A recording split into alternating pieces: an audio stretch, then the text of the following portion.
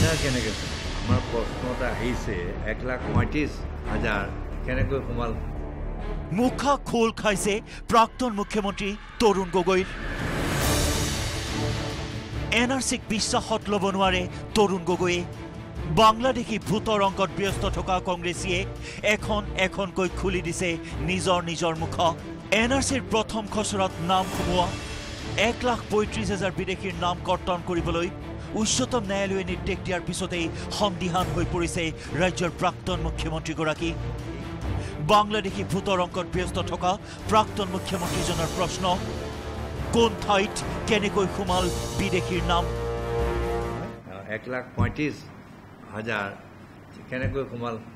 এইটো এটা আমাৰ প্ৰশ্ন আহিছে। আৰু তাৰ কাৰণে কোন দায়ী? আৰু কোন কোন এৰিয়াবিলাকত হ'ল?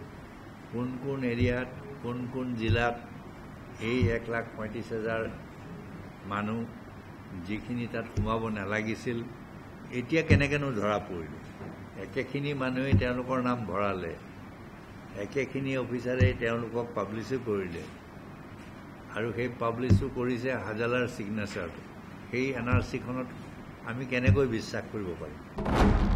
আজিৰ সংবাদমেলখনত এন আৰ চিৰ মুখ্য সমন্বয়ক প্ৰতীক হাজিলাৰ নিষ্ঠাৰ ওপৰতো প্ৰশ্ন তোলে তৰুণ গগৈয়ে তেওঁ কয় যে প্ৰকৃত ভাৰতীয়ৰ নাম অন্তৰ্ভুক্ত হোৱা আৰু প্ৰকৃত বিদেশীৰ নাম এন আৰ চিৰ পৰা বাদ পোৱা বিষয়টো সন্দেহৰ আৱৰ্তত সোমাই পৰিছে।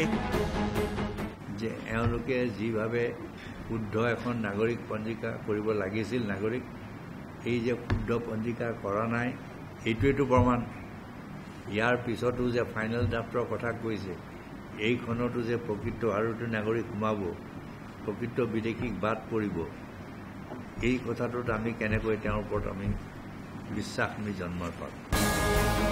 এন আৰ চিৰ খচৰাত ডি ভোটাৰ অন্তৰ্ভুক্ত নোহোৱা বিষয়টোতো তীব্ৰ অসন্তুষ্টি ব্যক্ত কৰে প্ৰাক্তন মুখ্যমন্ত্ৰী তৰুণ গগৈয়ে।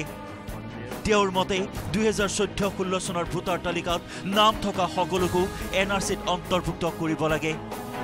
ডি ভোটাৰটো ক'ৰ পৰা আহিলে? সেই ভোট সেইখন ভোটাৰ লিষ্টৰ পৰাইতো আহিছে। ডি ভোটাৰটো ক'ৰ পৰা আহিলে?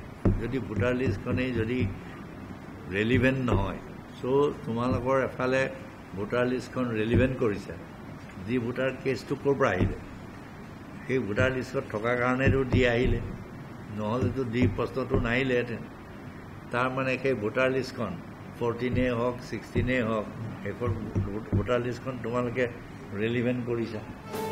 কেমেৰা পাৰ্চন সুনীতৰ সৈতে Agnish Gogoi news eighteen Assam north east